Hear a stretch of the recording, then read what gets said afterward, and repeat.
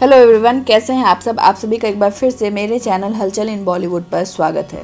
कपिल शर्मा एक popular comedian हैं और बहुत स्ट्रगल करके वो आगे आए हैं। पर शराब एक ऐसी लत होती है जो इंसान को उनके असली व्यक्तित्व से भटका देती है।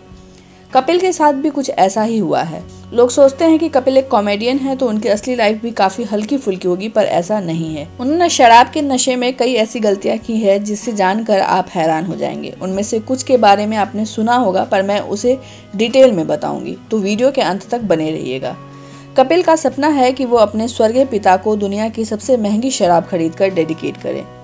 इससे समझ आता है कि शराब उनकी ज़िंदगी में न केवल स्टेटस सिंबल है, बल्कि खुशी जताने का तरीका भी। लेकिन कोई भी चीज़ सीमा में या हद में अच्छी लगती है, और शराब भी ऐसी चीज़ है जो सीमा से पार हो जाए तो पूरा का पूरा इंसान ही बदल जाता है। कुछ लोगों को पीना तो आता है, पर फिर खुद पर काबू करना नहीं आता, और कपिल शर्मा कई बार इस बात का एग्ज़ाम्पल बन चुके हैं। कपिल शर्मा ने सबसे बड़ी गलती शराब के नशे में एक इंटरनेशनल मराठी फ़िल्म फेस्टिवल में की थी। साल 2015 में आयोजित इस फ़िल्म फेस्टिवल में कपिल शर्मा की टीम का भी कुछ एक्ट था। यहाँ कपिल ने कई दफ़ा ड्रिंक पी ली और फिर वो शराब के नशे में कुछ मराठी एक्ट्रेसेस के साथ ज़बरदस्ती डांस करने लगे।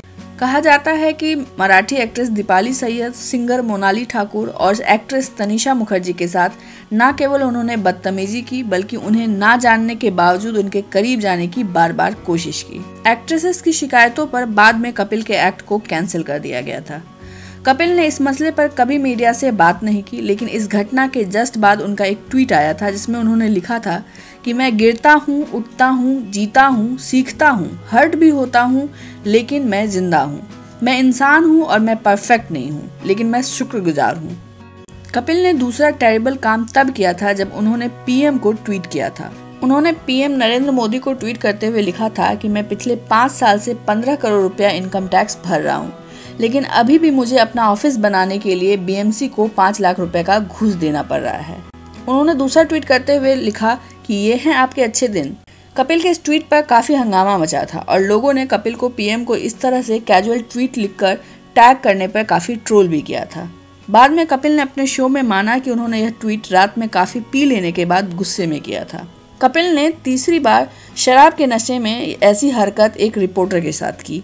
उन्होंने एक बार काफ़ी ड्रिंक करने के बाद स्पॉट बॉय डॉट कॉम के एडिटर विक्की लालवानी को कॉल किया था और उन्हें उनकी माँ और बहन लगाकर बहुत गाली दी थी। उन्होंने इतना एब्यूजिव लैंग्वेज बोला था कि उसके बाद कपिल की छवि काफ़ी लोगों के दिमाग में बदल गई थी।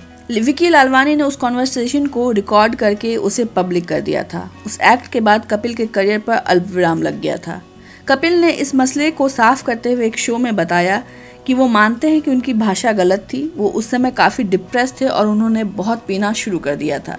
जब लोग अपने सेंस में नहीं होते हैं तो ऐसा काम करते हैं। उन्होंने इस शख्स को फ़ोन करके भला बुरा कहा क्योंकि उस बंदे ने छः महीने में उन पर 160 आर्टिकल्स लिख डाले थे और किसी भी आर्टिकल में कोई सच्चाई नहीं थी।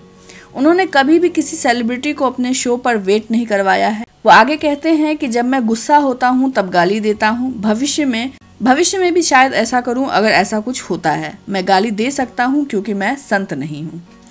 कपिल ने शराब के नशे में चौथी गलती तब की जब वो अपने करियर के पीक पॉइंट पर थे। कपिल और उनकी टीम ऑस्ट्रेलिया गए थे एक टूर पर। कपिल शो कैंसिल करना चाहते थे क्योंकि वो इतना प्रेशर हैंडल नहीं कर पा रहे थे, पर शो हुआ। लेकिन शो के बाद उनकी टीम के मेंबर चंदन होटल छोड़कर चले गए थे और वो कपिल से मिले नहीं। उन सब की मुलाकात फ़्लाइट पर हुई। कपिल ऑलरेडी इस बात से बहुत गुस्सा थे। फ़्लाइट में जब खाना सर्व किया जा रहा था तो वो चाहते थे कि खाना उन्हें पहले सर्व किया जाए, पर ऐसा नहीं हुआ। इससे कपिल को गुस्सा आया और उन्होंने सुनील ग्रोवर को जूता फेंक कर दे मारा। सुनील ग्रोवर और अली असगर ने उस घटना के बाद शो छोड़ दिया। कपिल ने बहुत माफ़ी मांगी, लेकिन चंदन तो वापस आ गए, पर बाकी दोनों वापस नहीं आए। कपिल मानते हैं कि उन्हें इस घटना ने काफ़ी परेशान किया, क्योंकि वो इस तरह के इंसान नहीं हैं। वो इतना डिप्रेस हो गए थे कि वो बहुत ज़्यादा शराब पीने लगे। वो काम के प्रेशर से भी बहुत परेशान थे और इस तरह उनकी तबीयत बिगड़ने लगी। इसका असर शो पर भी पड़ने लगा। जब शाहरुख खान, अजय देवगन, अनिल कपूर जैसे सेलिब्रिटी आए तो वो शो करने की हालत में नहीं थे। लेकिन वो सेट पर आकर चुपचाप बैठ जाते थे ताकि स्टार्स को बुरा ना लगे। ऐसा कभी नहीं हुआ कि वो ईगो या एरोगेंस में सेट पर नहीं आए हों या किसी को मना कर दिया हो। उनकी बुरी हालत देखकर सभी स्टार्स ने खुद ही शो कैंसिल कर दिया था और उन्हें आराम करने की सलाह दी। शो से स्टार्स के लौट जाने पर कपिल के बारे में उस वक्त बहुत कुछ लिखा गया था, पर वो शांत रहे, लेकिन एक वक्त के बाद उनका गुस्सा कुछ मीडिया हाउसेस पर फूट पड़ा। जब कपिल इस बुरे दौर से गुजर रहे थे, तब उनकी माँ को इन सब के बारे में कुछ भी पता नहीं था।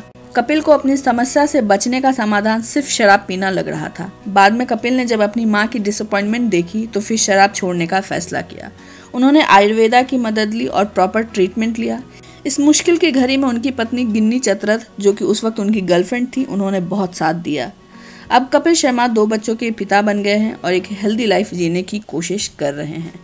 उम्मीद है कि भविष्य में कपिल शर्मा कभी भी ऐसी गलती फिर नहीं दोहराएँगे। आज के लिए बस इतना ही। अगर आपको ये वीडियो पसंद आता है तो प्लीज़ इसे लाइक और शेयर करें। चैनल को सब्सक्राइब करना ना भूलें और वैक्सीन ज़रूर लगवाएँ। Thank you so much.